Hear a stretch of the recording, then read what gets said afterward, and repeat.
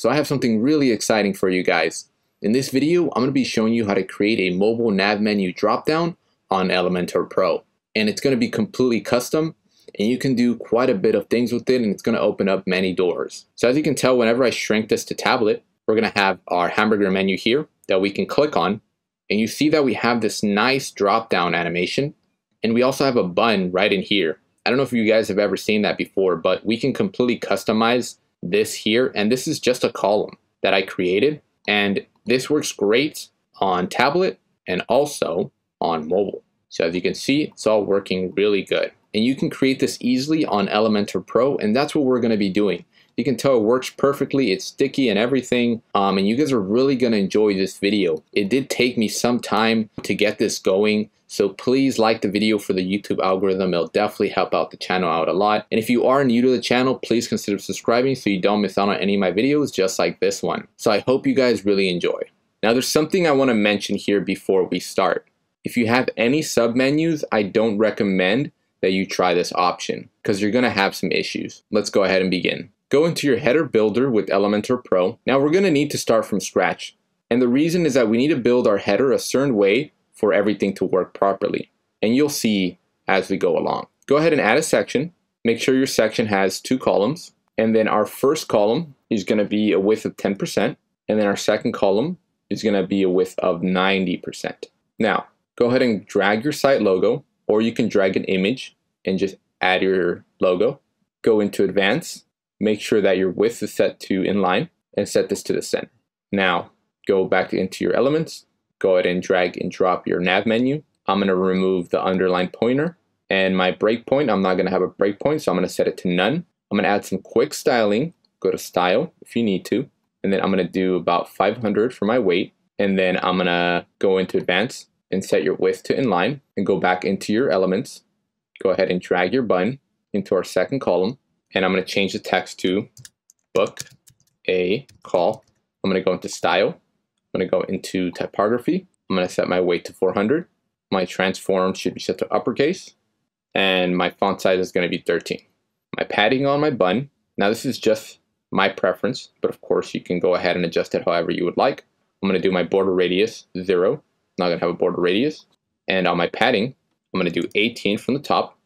From the right, I'm going to do 30. Bottom, I'm going to do 18. And then on the left, I'm going to do 30. There we go.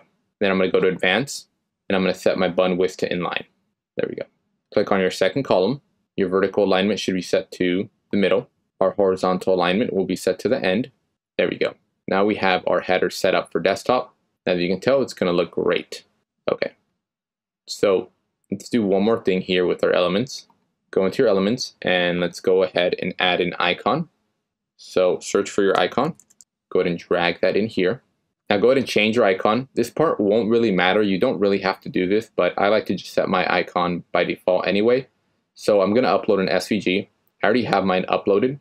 I'll provide this in the description so you guys can download it and then use it on your website. And if you need to change the color of these icons, just go into Figma or any graphic editor and then just change the color of the SVG. So I'm going to choose this one here for my bar icon, and there we go.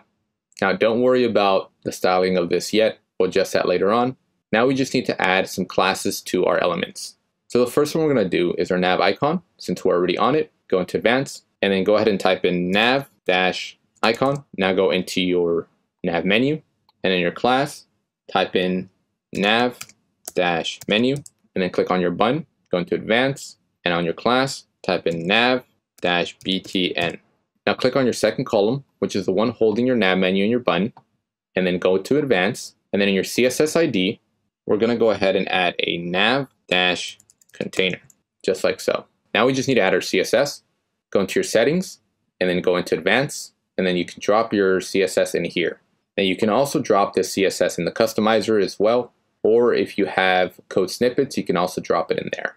Paste your CSS, and there you have it. Now as you can tell, it's going to go ahead and disappear our nav icon, and that's exactly what we want it to do. Now I'll go over the CSS code towards the end of the video once we've already accomplished everything. Now before we go ahead and add our jQuery, let's go ahead and make sure this is responsive. So let's go into tablet and we have an issue here where this column isn't set to the full width. So make sure you click on this column and set this to the full width of 100%. Now you will notice these issues here, we'll fix them right now. Now something to note is that our second column is not visible. Now that's exactly what we want because whenever we click our nav icon, we want this second column to show. And that's the reason we have it on display none for now. So let's go ahead and adjust our logo here. So click on your logo and then set this to the width, set it to custom. And we're gonna adjust this a bit here. Maybe make it about this size. This is just more of a preference, so probably do about 80 pixels. And then go ahead and click on your um, nav icon and set this to inline. There we go. And then something to note here is that it's not in the center, so it's, it's a little bit bugged out. So make sure that you have your icon selected. Go back to desktop, and then go ahead and set it to inline, and then set it to the center. Sometimes we have some bugs within Elementor. Just make sure you do that just in case. And then we can go ahead and do the same thing. Okay, we already did that for the site logo, that's fine. Okay, so that's all set now. Now click on your first column, and on your horizontal alignment, make sure that it's set to space between and while we're here, let's set our vertical alignment to the middle.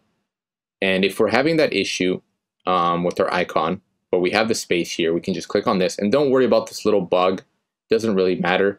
It's just doing that because of our CSS, but it's not going to do anything on the front end. So we should be fine. So just click on your second icon, and then we're going to add some padding to this, or I should say some margin. And we're going to do a negative from the bottom just so then we can get this about to the middle. There we go.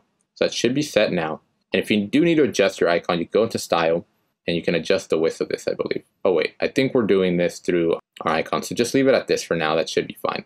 Let's leave it at that. Now let's go ahead and just check how mobile looks like. So click on your mobile version.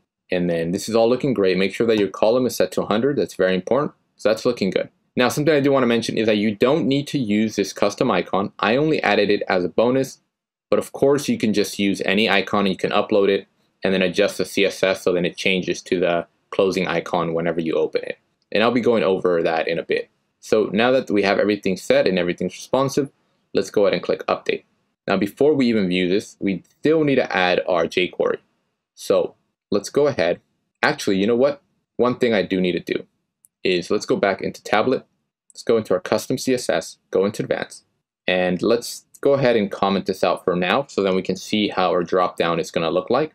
And as you can see, we don't really have it looking like how we need to. So one thing to do is click on your second column, make sure that it's set to 100%, and then click on your button, go to content, and let's set that to full width here, justified.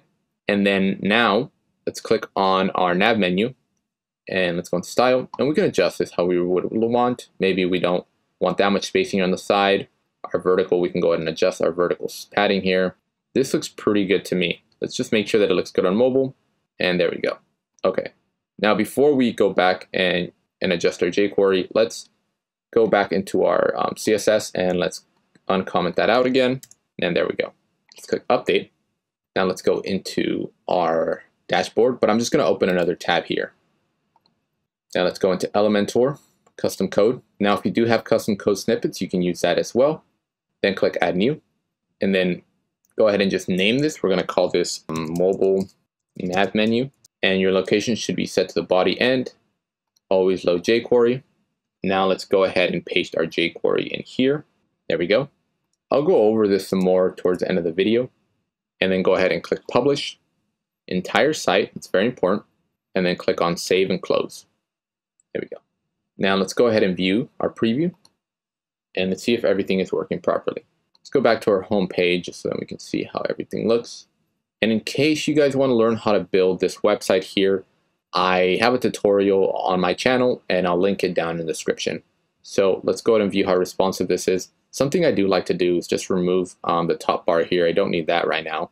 So let's go into inspect and it went straight to mobile, but we're going to start off on desktop and then we're going to move down here.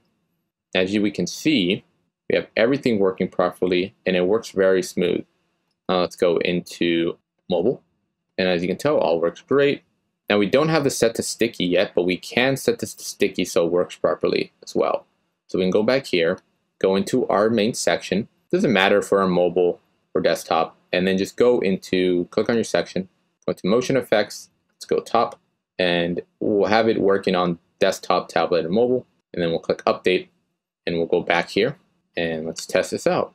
Oh, so we have that issue because we didn't give our section a background. Let's go ahead and do that real quick. Make sure that's set to white. As we can see, it works properly. We have no issues there.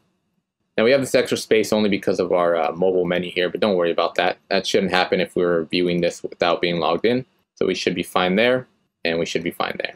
There we go. And it's just doing this because of our menu, by the way. Like I said, it kind of messes the spacing up a little bit. So don't worry about that. Everything should be fine there. Let me just refresh this here. So there we go. Something I'm going to do is actually view this in incognito so you guys can see how it all works properly. There we go. You can see everything is working good. We go here, we open it, we go over here, it still closes properly, and everything is working great. And that's it. Okay, so I do want to go over some of the CSS and also go over the jQuery as well. So let's go over the CSS first. Something I did want to mention is that if you guys, let me go back, let me go to the CSS actually and uncomment this out here. Now this is going to open up a lot of doors because you're going to actually able to add more stuff to this dropdown if you even wanted to. It's just another column. You can add other elements to it if you need to.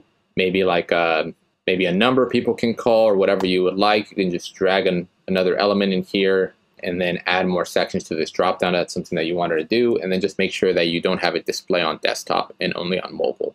So Let's go to the CSS and let's go over that now. So basically right here, we just have a tablet breakpoint because we only want the CSS to activate um, on tablet and mobile. So basically anything under 1024, this style here is going to activate. So currently right now, let me uncomment that out. Or, so currently we have our nav container, which is our entire second nav here, right? Uh, accidentally clicked that, our second nav here. And we're setting that to display none and an overflow of hidden. And then the next one is just making our nav menu vertical. So if I were to see if I can uncomment this out again and show you what that does for those of you wondering. So if I actually remove this, you notice how we're going to have this issue where our column here is going to be horizontal and we want it to be um, vertical. We want our nav menu to be vertical. So that's basically what that does. And we only have that set to anything below 1024. And then our nav menu here is setting everything, setting our nav menu and our nav button, this one as well, to 100%. If you see if I remove this, eh, yeah, we'll have this weird issue here. That's not what we want. So that's why we have it set like that. And then we have our nav icon, which is right here. And we have it only, we have a, a display none with anything above 1025. So basically, we're not going to have our nav icon show on um, desktop. And that's pretty much what this is doing here. And then in here, Something that we are missing actually, and I totally forgot guys to even go over, is that our icon isn't changing. So that's something that we need to do. We need to go ahead and add um, our icon URL. So then whenever we click on this, uh, the nav icons change. So let me go in here and uncomment this out, click update. As you can tell, whenever I go into, I didn't even notice that, but I can show you here, right? So I click on this and you notice that it's not changing to the X icon closing icon there. So we just need to go ahead and it's very simple. I'm to open up another tab because I'm going to go over the jQuery here in a bit. I don't want to make this video too long, um, so I'm trying to go over it as quick as possible. Now let's copy this. Now this is going to be our open bar icon, so we're going to paste this one in here. Paste it in there. There we go. And make sure that you paste it in between your single quotes. And now let's grab our closing icon and let's copy the link and then let's paste it right in here inside our single quotes. Now let's click update. Now let me go back into my incognito, you refresh this, and as you can tell, oops, it's not working. Okay guys, so I guess the reason why it wasn't working is it's because we already had our icon set to an SVG, so for some reason it was bugging out. So what we actually need to do is make sure you remove your icon here, and then just add the bar icon for now. Add this one in here. Just use this, make sure it's selected, and then click update. I don't know why it was doing that, but it just wasn't working for some reason, so just do that, and then now it should be working properly. Even if we go over here and let's refresh this. There we go. So you can tell it's working great. So now let me go over the jQuery here. So basically this function right here is going to toggle our mobile menu whenever someone clicks on the nav icon, and it's also going to change the nav icon as well on click. So we have a function, jQuery function, and then we have a jQuery function of an event listener on click that has a function, and then basically we're just toggling the container. Currently we had it at display none, and we toggle it to slide toggle, and we have a duration of 200, but you can change this duration so it's a little bit maybe faster. I mean, 200 is already pretty fast, but if you wanted it slower, actually, you can do 500 instead. And this is the duration of whenever someone clicks on the nav icon and the menu slides down. So that's that duration. So you can also do slow um, and fast if you needed to, but I like to just set it at 200 is fine. And then we have our jQuery function, which is just going to toggle our class and change our icon to a closing icon. That's basically what that does, toggle class. And then this one here is pretty interesting. And the reason I set this is because if you don't have this, it's going to be a little bit buggy whenever someone is adjusting your uh, nav menu on desktop. Let's say someone's moving it like this, and you're going to see a bunch of bugs if you don't have this. And that's basically what it's doing. It's pretty much just adjusting it on the window resize. We're getting the window width here. We have an if statement with the width, and we're seeing if the width is greater than 1024, then we want to make sure that our nav container is showing and we don't want to set to display none because if we have it set to display none, our this part right here would disappear, the, the this this entire second column. So we wouldn't see our nav menu and our button in case someone is um, you know moving this around, right? So that's why we got to make sure that we have this in here as well. You, you can see it's set to show otherwise if it's and we have it as otherwise. So basically, uh, and then therefore if the width is not greater than 1024, then we know that we're still on mobile and tablet. So then we have this activate else and we have it just hide. So then someone can someone has to click on it to be able to show um, our drop down menu that we created. And that's basically how that works. It's a very simple jQuery um, and I, I was going to do just um, some vanilla JavaScript to this, but I wanted to make my code very clean and very simple. Um, and that's why I just kind of broke it down into something like this. And this worked perfectly.